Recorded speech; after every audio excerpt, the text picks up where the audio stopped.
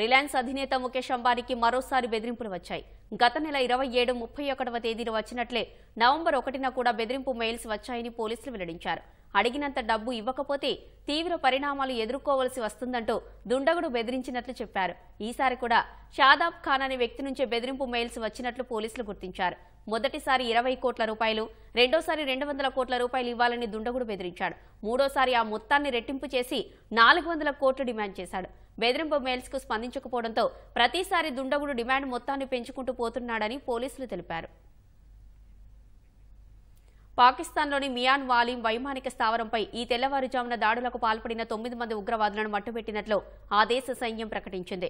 ముష్కరులు పెద్ద ఎత్తున ఆయుధాలతో వచ్చి దాడులు చేశారని వారిని నరకానికి పంపినట్లు పేర్కొంది.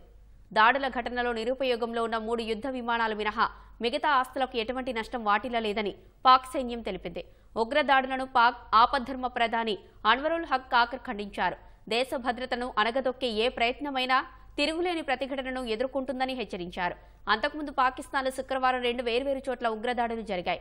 బలూచిస్తాన్ ఖైబర్ పంక్తుత్వా ప్రావిన్స్లో జరిగిన ఆ దాడుల్లో పదిహేడు మంది పాక్ సైనికులు ప్రాణాలు కోల్పోయారు.